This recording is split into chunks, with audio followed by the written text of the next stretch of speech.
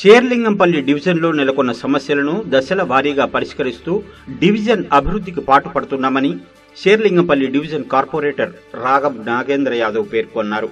బుధవారం డివిజన్ పరిధిలోని సందయ్య నగర్ పాపిరెడ్డి కాలనీల్లో పర్యటించారు. సురభి కాలనీ మీదుగా ప్రధాన రహదారి గుండా వేస్తున్న యూజుడి పైప్ లైన్ పనులను సందయ్య నగర్ వద్ద పర్యవేక్షించారు. కాలనీలో నెలకొన్న సమస్యలను ప్రజలను అడిగి తెలుసుకున్నారు. కాలనీలో యూజుడి సమస్య తీవ్రంగా ఉందని కాలనీ వాసులు వాపోయారు. పాపిరెడ్డి కాలనీలో దాదాపు యూజుడి పనులు పూర్తయ్యాయని ప్రస్తుతం రోడ్ల నిర్మాణం పనులు జరుగుతున్నాయని కార్పొరేటర్ తెలిపారు. కాలనీలో జరుగుతున్న వీడీసీసీ రోడ్డు పనులను పరిశీలించారు. అభివృద్ధి విషయంలో ఎక్కడా రాజీ పడేది లేదని రాగం నాగేందర్ యాదవ్ చెప్పారు. ఈ కార్యక్రమంలో వార్డు మెంబర్ పొడుగు రాంబాబు సందయ్య నగర్ కాలనీ అధ్యక్షుడు ఏదుల బసవరాజు నాయకులు లింగారెడ్డి ప్రవీణ్ వర్క్ ఇన్స్పెక్టర్లు యాదగిరి మహేష్ తదితరులు పాల్గొన్నారు.